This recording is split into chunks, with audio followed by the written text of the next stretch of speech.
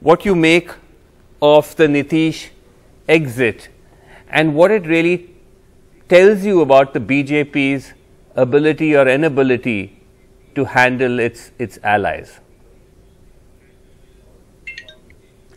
Well, I'm not surprised that he has left uh, the NDA, especially after the stated policy of the BJP now that they want to eliminate, er, eradicate all regional parties.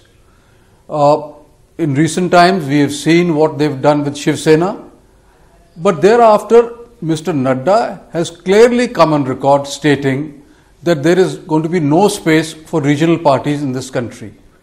Thereafter, what choice did Mr. Nitish Kumar have? And I want to take you back to 2013 Hmm. when it was widely believed that Dr. Manmohan Singh may win a third term. Hmm. At that time, I remember I was in a meeting which was called by Sardar Parkash Singh Badal, in which there was Mr. Arun Jaitley and Mrs. Sush- Sushma Swaraj, and he clearly told them that though Mr. Advani is a close friend of mine, but if you project Mr. Advani as the prime ministerial candidate, we will lose again. So why don't you bring Mr. Modi forward? Hmm.